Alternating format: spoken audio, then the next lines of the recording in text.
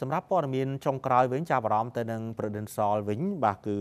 បានប្រកួតរង្វាន់ម៉ូតូរថយន្តនិងរង្វាន់ជាច្រើនទៀតជូនទៅដល់អតិថិជនប្រឌិនសលកម្ពុជាជាក្រុមហ៊ុនធានារ៉ាប់រងអាយុជីវិតនៅកម្ពុជា បានប្រកួតរង្វាន់រថយន្ត Mark MG ZS ស៊េរីឆ្នាំ2021មួយចំនួនមួយគ្រឿងដល់ពលរដ្ឋរស់នៅក្នុងក្រុងស្ទឹងត្រែងខេត្តស្ទឹងត្រែង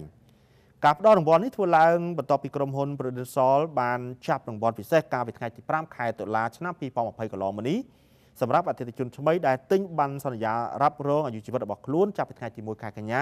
រហូតដល់ថ្ងៃទី15ខែកញ្ញាឆ្នាំ2020កន្លងទៅលោកសានជេចាក្រាប៉ាទីជាតំណាងក្រុមហ៊ុន Prudential កម្ពុជាបានលើកឡើងថានៅ Prudential គោលបំណងគឺដើម្បីជួយដល់ជីវិតបុគ្គលម្នាក់ៗឲ្យកាន់តែមានភាពល្អប្រសើរ